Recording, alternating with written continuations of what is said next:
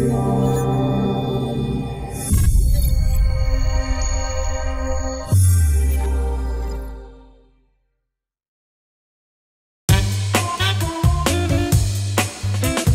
is a big place with a diverse population. How many of us live here? Well, guess what? We're about to find out. Every 10 years, America counts every man, woman, and child. We call it the census, and it matters to each and every one of us.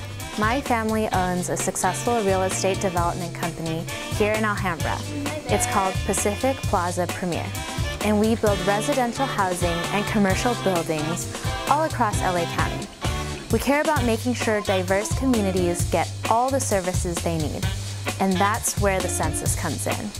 The more people in a community, the more state and federal funding it receives for things like schools, roads, police, and fire protection. Don't worry, the census is completely confidential and there are no questions about citizenship. Your individual information will not be shared with any government agency, including law enforcement and immigration. That's the law. For more information, visit californiacensus.org. Please stand up and be counted. Kính thưa quý vị, để thay đổi không khí trong phần phát hình hôm nay, chúng tôi xin mời quý vị theo dõi cuộc nói chuyện giữa hai nhân vật rất là quen thuộc với cộng đồng Việt Nam chúng ta. Đó là ông dân biểu liên bang Scott Peters và cô Leanne Kim, một sứ ngôn viên đài số 10 ở San Diego này. Thưa quý vị, cô Leanne Kim sẽ đại diện cho VNTV qua cuộc trò chuyện với ông Scott Peters với đề tài kiểm tra dân số 2020 với một khuôn mặt và cách nhìn từ một người nằm trong chính quyền và cũng là chịu trách nhiệm cho một số ngân khoản đem về cho những tiểu bang, thì ông dân biểu liên bang sẽ có những chia sẻ và quan điểm đặc biệt về vấn đề này như thế nào. Mời quý vị theo dõi cuộc nói chuyện sau đây với Lian Kim và ông Scott Peters. Lian Kim, take it away.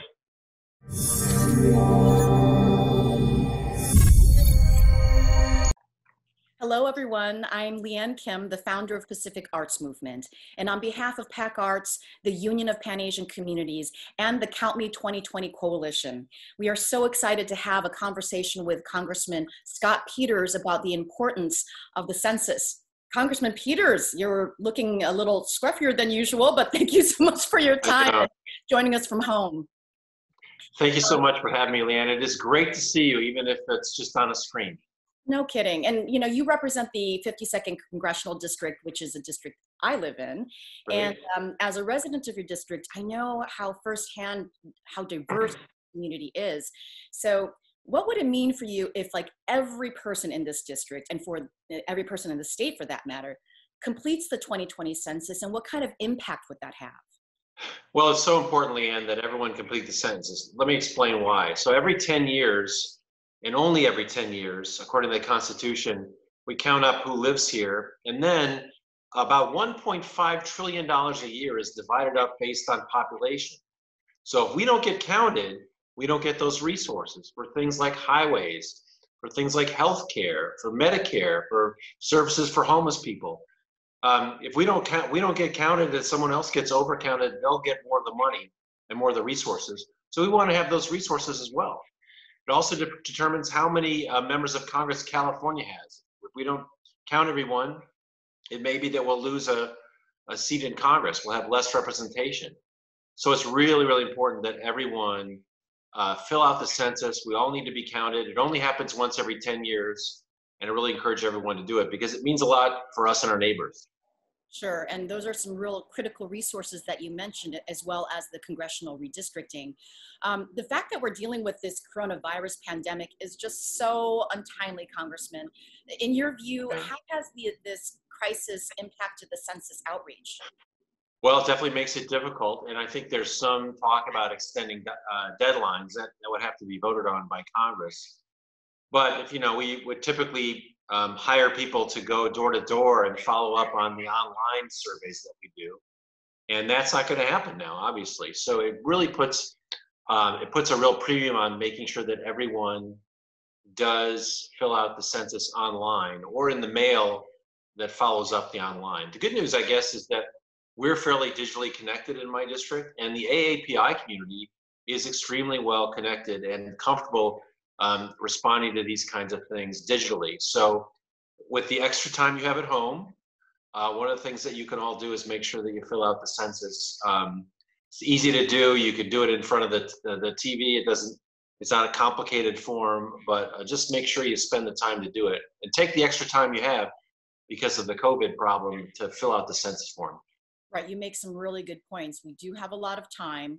We're at home with we're with our loved ones, and the APIA community, which has traditionally been a harder to reach community for various reasons, right, um, is more digitally connected. So um, there is hope that there'll be more. Um, and one thing is, I too I, I know about about your community from um, having such a strong representation. I think we're the 20 or the top 25 most AAPI uh, districts in Congress. But family units are very strong.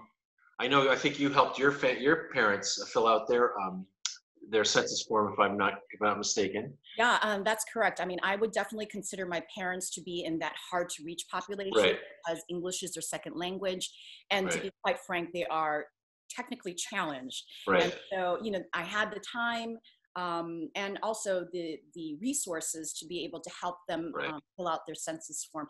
And the great thing about the API community, as you may know, is that you know there are sometimes several generations of us living together, um, and so we're very close to some of those harder to reach. Um, uh, residents and so right. hopefully with uh, this first time availability of filling out right. online we're going to see different results and that's a strength for the community so i hope that uh, hope that people take advantage of that yeah, I do want to um, ask you, Congressman, about um, some lingering fears that there might be. I know that there's no citizenship question on the census, but there might be still some concerns about how the government is using this information. So, what can you say to those who are concerned for their privacy?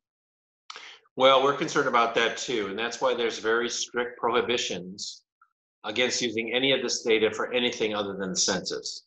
So um, they don't ask your social security number. They don't ask you for anything that's not related to counting who's in your household and how old they are and those kinds of questions. So you don't have to worry about that. The protections are very strong. Uh, the information will only be used for the census. And as I said before, Lee Ann is very critical to helping us get the resources that we all need to support our highways, our schools, um, and our social services. Um, and to clarify, Congressman, everyone who is a resident, regardless of status, should take the census. Right, because that's exactly right. Because um, the a lot of the allocation of resources that we get from the census is based on who's living where, and not necessarily what their um, immigration or citizenship status is. So please, please fill out the form, fill it out for everyone, so that we're all counted and we get our fair share of, of federal resources. And I'm assuming that you filled out your census as well? I did. I filled it out um, and uh, was happy to do it. I did it online. It was very easy. Uh, and my my um, wife helped her mom, who lives here, and she's also extremely digitally challenged. But we filled out the the census for her as well. So I think we're all we're all covered. Great. And given the current circumstances, as you mentioned, the Census Bureau is um, thinking about extending the deadline for collecting this data. But honestly, it's best for everyone to just respond as soon as possible.